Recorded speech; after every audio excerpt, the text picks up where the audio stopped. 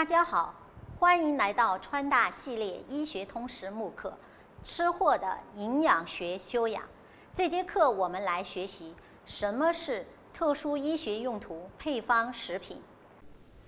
终于周末了，同学们今晚到我家去聚餐吧！我要吃麻辣小龙虾。我要吃烧烤。哇，我也要去，我也要去。昨晚的麻辣小龙虾和珍珠奶茶简直是棒棒哒，配上烧烤简直是完美。哎，不过大家没有发现今天鲜肉没有来吗？哎，你们听说了吗？鲜肉昨晚暴饮暴食进医院啦，是不是发胰腺炎了呀？胰腺炎是不是就是啥都不能吃了？好像是的，我们一起去看看他吧。你现在怎么样了呀？我肚子有点胀，全身没有什么力气。你咋突然这样了呢？昨天还好好的。是胰腺炎吗？嗯，医生说是急性胰腺炎。首先，我们一起来了解一下急性胰腺炎。急性胰腺炎是胰腺的一种炎症型疾病，其临床特征为腹痛和血液中的胰酶水平升高，病情较重者可发生全身炎症反应综合征。并可伴有器官功能障碍的疾病。临床上，大多数患者的病程呈自限型，总体病史率为百分之五到百分之十。急性胰腺炎的病理变化表现为从水肿到出血坏死等一系列改变。从病理上可分为急性水肿型和出血坏死型两种。急性胰腺炎。常在饱食、高脂饮食或饮酒后发生，部分患者无诱因可查，其临床表现和病情轻重取决于病因、病理类型和诊治是否及时。急性胰腺炎的主要症状多为急性发作的持续性上腹部剧烈疼痛，常向背部放射。常伴有腹胀以及恶心呕吐。为何肚子里的这个小小器官的炎症会如此凶神恶煞？胰腺位于腹腔的深处，深埋在胃和十二指肠以及腹膜的背后。虽然体积不大，又隐藏极深，却在人体营养素的消化和吸收中发挥重要作用。胰腺分泌的胰液中含有针对碳水化合物、脂肪和蛋白质的消化酶。这些胰酶在刚分泌的时候，多数都处于未激活的状态，进入肠道后才被激活，开始发挥作用。一旦因为某种原因，胰酶提前被激活，或者漏到了胰腺。或导管外面去，势必对腹腔内的各个器官具有强烈的腐蚀性，流经之处遍地坏死。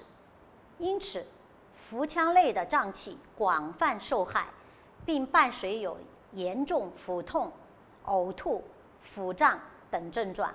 除此之外，严重急性胰腺炎时，全身炎症反应都被激活。整个循环系统和远离胰腺的器官也会受损，出现障碍，发生高热、休克、出血坏死、肾功能衰竭等。急性胰腺炎的病因较多，常见的病因有胆石症、大量饮酒、暴饮暴食、血脂异常。一、胆道疾病，胆石症、胆道感染。或胆道蛔虫等，均可引起急性胰腺炎，其中胆石症最为常见。二、大量饮酒和暴饮暴食，胰醇通过刺激胃酸分泌，使胰泌素与缩胆囊素分泌，促使胰腺外分泌增加，刺激奥蒂括约肌痉挛和十二指肠乳头水肿，胰液排除受阻。使胰管内压增加，另外暴饮暴食使短时间内大量食米进入十二指肠，引起乳头水肿和奥蒂括约肌痉挛，同时刺激大量胰液与胆汁分泌，由于胰液和胆汁排泄不畅，引发急性胰腺炎。酒精刺激可以使胰腺的细胞变得敏感，增强起调节因子的作用，也会代谢产生乙醛物质，对胰腺产生毒性，最终使胰腺内的胰酶遭受过早激活的可能性增加。此外，酒精刺激也会通过多种途径使胰腺管道内的压力增加，因此突然大量饮酒和进食会导致胰腺大量分泌，加上巨大的压力使胰腺内的胰泡破裂，同时也会诱发胰酶被激活。先激活的胰酶会使其他的胰酶也被激活，就像烟头落在火药粉上一样，一发不可收拾。三、胰管阻塞、胰管结石或蛔虫、胰管狭窄、肿瘤等均可以引起胰管阻塞。当胰液分泌旺盛时，胰管内压增高。使胰管小分支和胰腺泡破裂，胰腺与消化酶渗入间质，引起急性胰腺炎。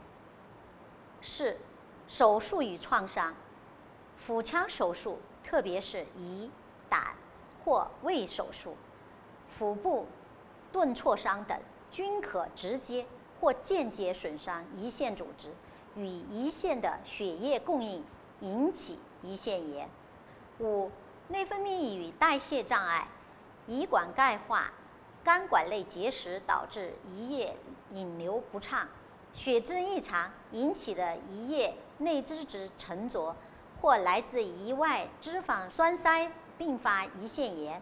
六、感染，急性胰腺炎继发于急性传染性疾病者，多数较轻，随感染痊愈而自行消退。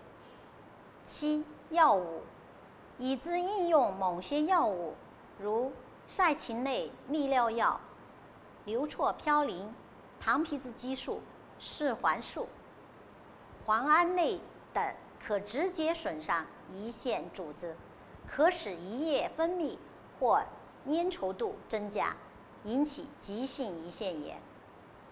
八、其他。少见因素有十二指肠球后穿透性溃疡、临近乳头的十二指肠吸食炎等。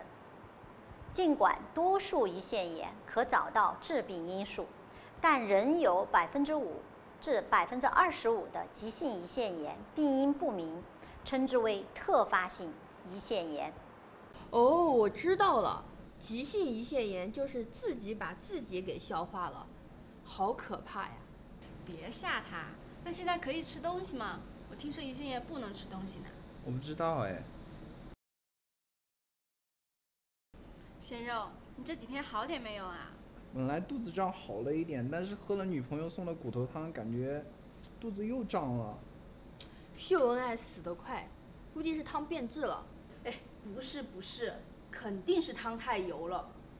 不是都说喝汤最有营养了吗？